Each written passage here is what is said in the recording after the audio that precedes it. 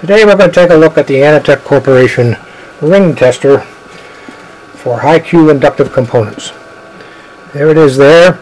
Uh, the little blinking red light indicates that the unit is on. There'll be one or two red lights blinking uh, to indicate that. You turn it on and off with the button at the top. High Q inductive components. What do we mean by high Q? Q is a measure of the quality of an inductor. That's where the Q comes from. And it's the ratio of the inductive re reactance, which is 2 pi times the frequency times the inductance. Inductive reactance divided by the DC resistance.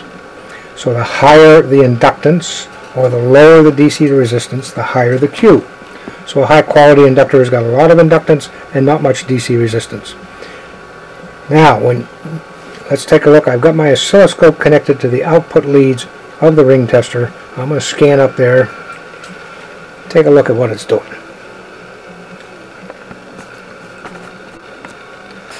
Let me get you focused here. There's the output pulse that the ring tester puts out. And it's those fast edges that cause the ringing. I'll show you the ringing in a bit. But these edges here and here Vertical scale is 200 millivolts per division, so it's about 6 tenths of a volt. It's actually a current pulse, uh, but it's limited to 6 tenths of a volt by a diode inside.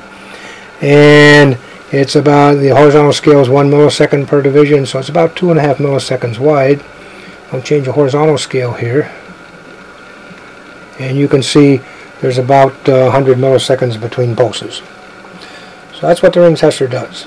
Now I'm going to connect it to this toroid. You can get an idea of it here.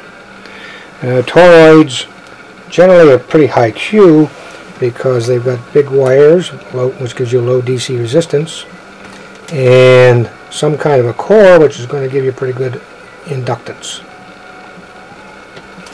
You can see the waveform changed. I'll change the horizontal scale so you can get a better idea. And there we see the rings. So uh, a high Q inductor, this is how it responds to that pulse input. You get a damped sinusoid that rings at a frequency determined by the inductor itself. And the ring tester counts the peaks on these rings. There's a lot of rings, it's high Q, and you get a lot of lights on the ring tester. Scan down here and see what it's reading.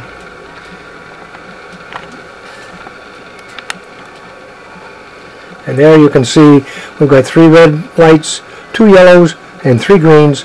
That indicates high Q, which is what we would expect from a toroid. Now you can use a ring tester to detect bad switch mode power supply transformers and other transformers. I've got a switch mode power supply transformer here, if you can see that. Now I'm going to connect the ring tester to the primary winding of this transformer.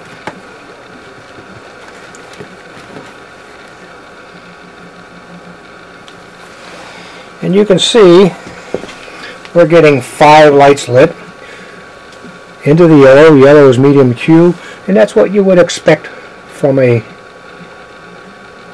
switch mode power supply transformer. It's not really meant to be a high Q inductor. It has some inductance. It's got low DC resistance, so it's going to be medium Q, and that's what the ring tester is showing. Back up to the scope.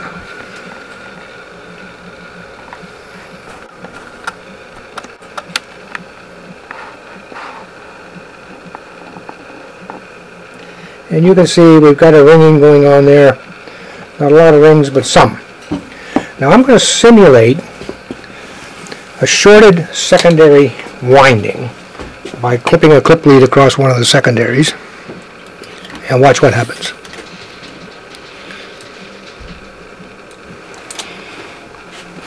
Here we go. Bingo, the rings disappear. Shorted secondary winding, the ring tester is connected on the primary, and you get no rings because that shorted winding is reflected back into the transformer through the transformer's action. And back down to the ring tester, and you'll see there's no lights lit at all. Sure indication that this is a shorted winding. You can use the same technique on various other transformers, any kind of a transformer. The ring tester will detect shorted windings for you very quickly and easily. And there you have it. We offer the ring tester here at AnaTek. You can buy it in kit form and assemble it yourself, or we'll assemble it for you. Either way.